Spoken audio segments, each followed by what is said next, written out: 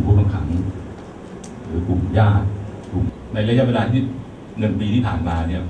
เราเราได้ใช้กลยุทธ์การก้าวทันกับการเปลี่ยนแปลงของภาวะสังคมไปอย่างหน้ามือเป็นหลังมือนะครับทุกวันนี้เราวิ่งตาม ตามเรือนจำสีขาวและตัว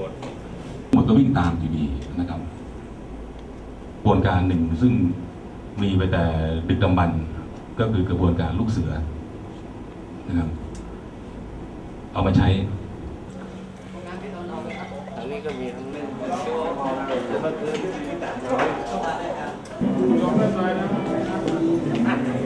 มีเธอเรียนเนี่ย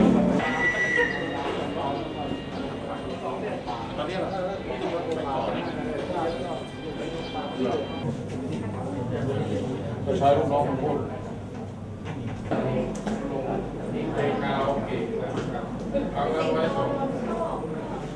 หรือภูมิแพ้กรุงเทพมีก็แล้วกันครับเดินทาง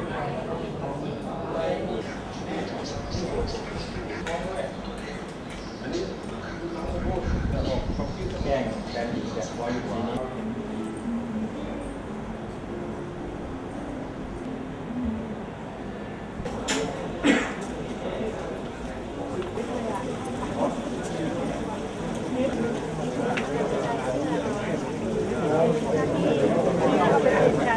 ปเดินทางขึ้นเลยรถจักรเอาไปตามมาเนี่ยมามาทุกท่าของเออก็ผมเนี่ยครับจับก่อนไม่ใช่ค่ะชาโมงร้อนไหมค่ะร้อนค่ะอันนี้ค่ะค่ะค่ะ